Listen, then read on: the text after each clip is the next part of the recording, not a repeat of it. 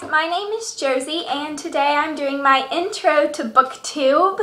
At, like I said, I am going to be starting a booktubing channel here on YouTube and I'm going to talk about all different types of books and books I've read and doing reviews and hauls and wrap-ups and things like that. And I think a thing that sets me apart from other booktubers is that I'm battling um, a medical condition called reflex sympathetic dystrophy and it's a chronic pain condition and I use books as therapy for me.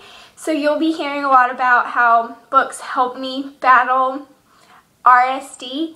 So if you like books and you like watching videos about books, please subscribe and thanks for watching.